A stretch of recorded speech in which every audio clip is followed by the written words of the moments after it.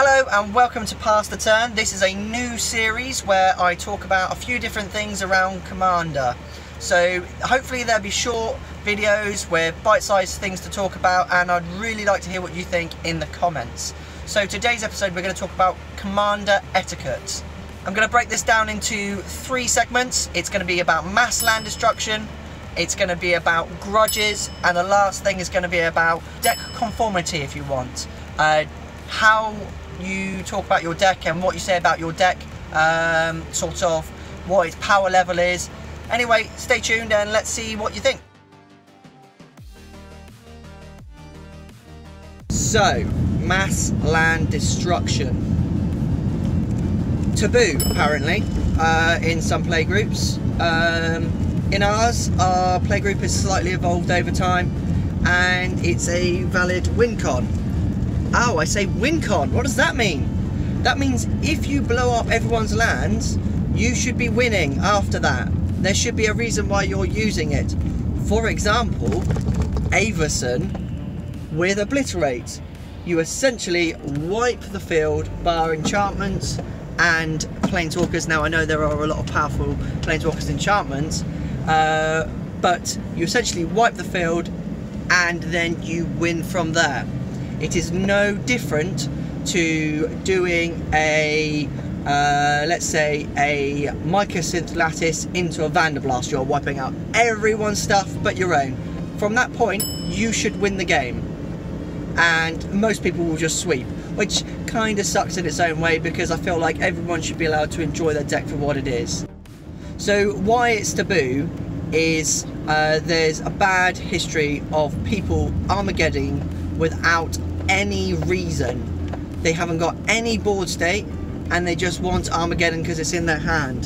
That that's not good commander etiquette. That's not good for games. That's not good for the, progression of the game, the enjoyment of the game, because you're stopping people playing Magic. If you're going to stop them playing Magic, at least end the bloody game so that you can start another game. Again, comes down to WinCon. That's where I understand why some people get salty about mass land destruction because it's done incorrectly. And therefore it's a cycle of uh, people not not enjoying the game because uh, because of mass land destruction essentially. That they don't like mass land destruction in their game pod which is fair enough. If that's if you're sat with people that play degenerately like that it's the same in my eyes as someone using an infinite combo. Uh, I find that quite boring uh, way to win the game. But then again, that's my opinion. Other people love a combo. I'm talking about two card, three card combos. That's kind of just, that can be assembled easily. If it's something like uh, a five piece infinite combo that you just stumble across, damn, that's cool. I like that. But it's many pieces of the puzzle coming together.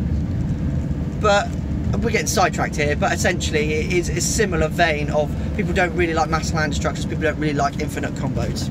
Okay, and also if you don't agree with anything I've said, that's fair enough. This is my opinion, um, and going from what my my pod and my friends have experienced with uh, magic and mass land destruction. Feel free to comment and tell me I'm an absolute b-head. But uh, yeah, let's move on to the next subject.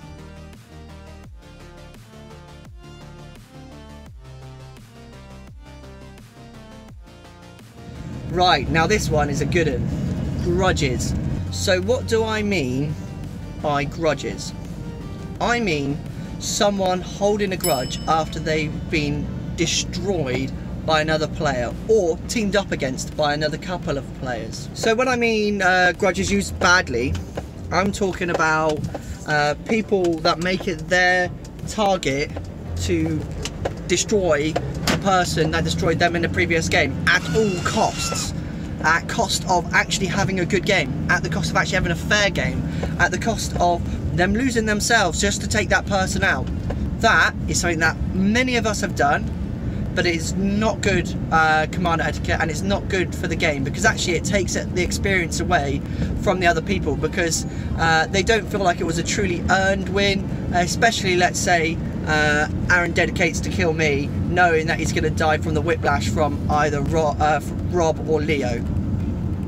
That that you know that's like a heartfelt. That's not not not not. That's like it's just not a good way to go, really, is it? Um, and people sort of think, oh, why would you do that? And they, they right, quite rightly, why would you do that? This also can be done to bad threat assessment, uh, purely because you're glazed with anger and you're a vigilante and you're going to take this person down because god damn it they beat you last game. And instead of having a, a good game nah I'm gonna I'm gonna destroy that person for that. Obviously wobbly camera because I'm going down a wobbly road. Also there's a, a difference between having a grudge uh, at the start of a game and assessing which player is actually Nicol Bolas. For example, if you sit, this will lead into my next conversation, but if you sit down at the, at the table, and Rob will agree with me, if Rob's playing Godo, or as we like to call him, Rodo, uh, then we know he is going to be the main threat because his deck is far more efficient, far stronger, and it means that he is more likely to be the aim of the target until we have control or some sense of control over uh, not just losing instantly to a Godo Helm-esque sort of um, experience. So holding a grudge isn't necessarily bad, it's how you use it right? You can keep your saltiness in. You do not need to use that in your next game. We're all guilty of it. We all do it, but it's something that we all as players need to start considering. Is it good for the fairness of the game? Is it good for the quality of the game? Ultimately, the answer is no.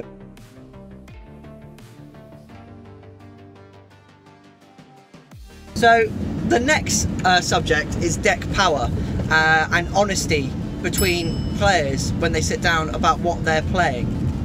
Some people will sit down at the table and say, oh no, my deck's, you know, average power rating, and it potentially might not be.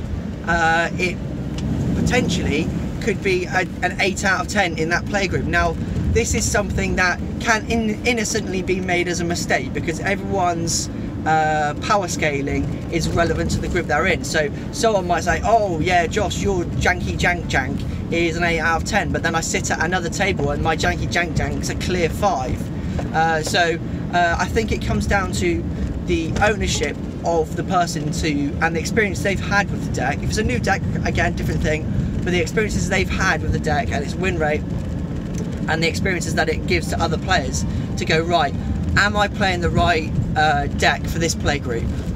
This also comes down to de deck types.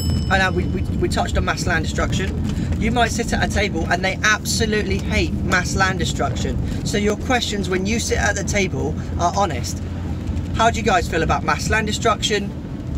Oh, you don't like that? Okay, I won't play this deck. Another one. How, how do you guys feel about turn 3 Godo Helm?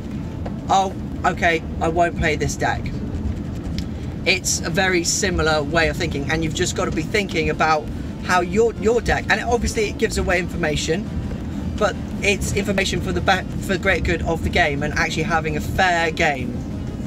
Also within those deck types you can have things like stacks which potentially people hate stacks more than they hate land destruction.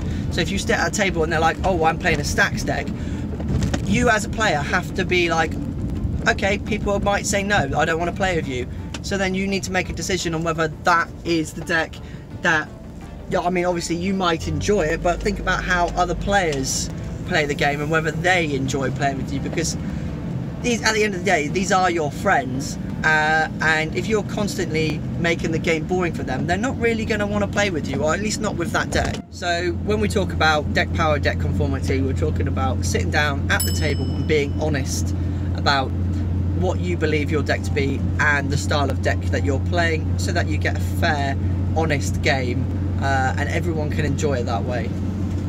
So to round it all up, a little summary is uh, mass land destruction, not really taboo, it's more how it's used. With great power comes great responsibility, absolute cheeseball. Uh, with deck power and conformity, inform your people, inform who you're playing with, ask them if it's okay. It's the same as playing with a custom commander. Ask if it's okay. If they say no, it's a no. Uh, and then the last one, the grudges, the big one. Just think about when you play, uh, what are your actions, uh, you know, making the game better or are they making it worse? Anyway, I hope you enjoy this game and I hope the camera wasn't too wobbly. Uh, it is on the window, but it's just bobbling all around the place. Um, but yes, stay tuned for more Josh in a Van content.